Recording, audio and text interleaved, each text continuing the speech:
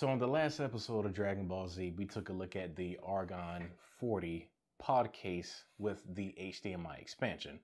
Essentially, you have a case for the Raspberry Pi Zero 2W and an expansion case that turns your mini HDMI to full-size HDMI and two full-size USB-A ports.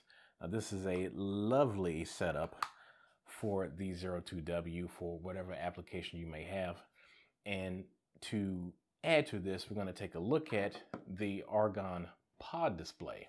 Now, this is a tiny, well, not tiny, a small display for the pod case kit.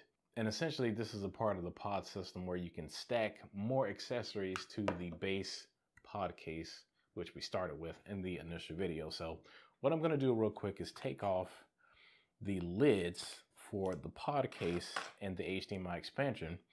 And if you have a look, you'll see that I've soldered on the uh, header pins that come with the pod case because it is required to have these uh, uh, GPIO pins to operate the pod display. Before we get into how it all works and everything, let me give you the rundown of the specs of this pod display case. So the pod display is 2.8 inches. It has four programmable buttons and the screen is touch compatible. If you take a look at the back, you can see these little snap fit pins to make sure it's secure within the uh, pod case assembly. And of course, the uh, GPIO ports to bring this thing together. So let's get the pod display on and get this thing going.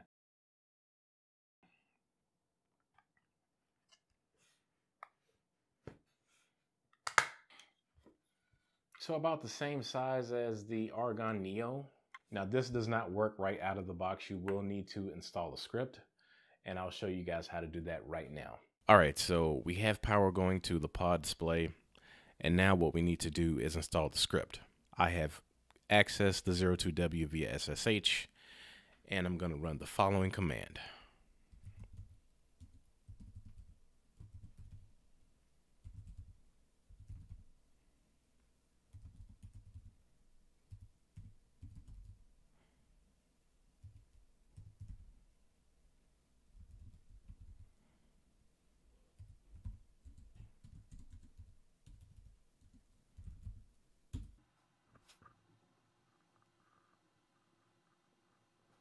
All right, the installation of the script is complete and I'm gonna just reboot really quickly.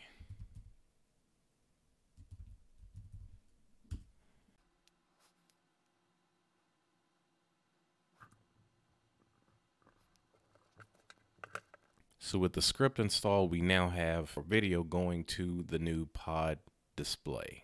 All right, so if you want to configure the buttons, you need to enter argon pod-config.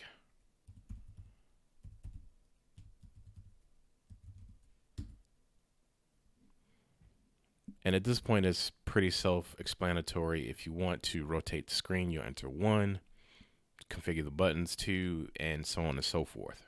So I'm going to press two to configure the buttons. And this little diagram sort of gives you the layout of the pod display. So the buttons should be oriented at the top and you see the rectangle that represents the screen. So you have a few options. Uh, button one, you can increase the brightness. Button two, decrease. Button three, if you want to mute the audio, and four for reboot. All right, so I got the buttons programmed to adjust the brightness and to reboot the system. So having a look at it, you can see if I press the button a couple of times, screen gets darker. And if I want to turn the brightness back up, I just hit the other button, this first one. Sorry about the glare there.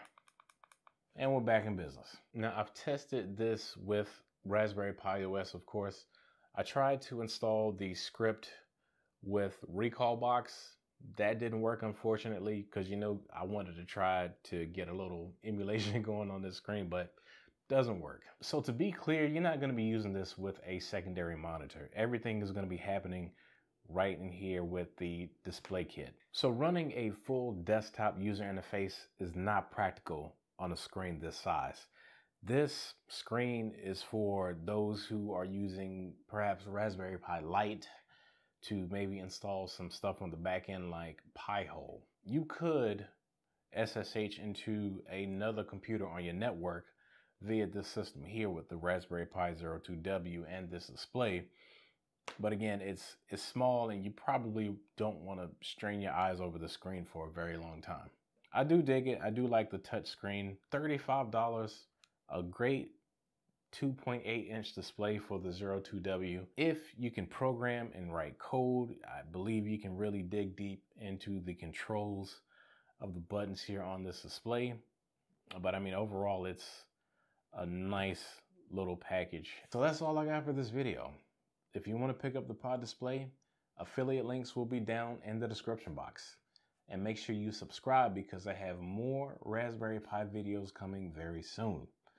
I'm Jason, and I will see you in the next one.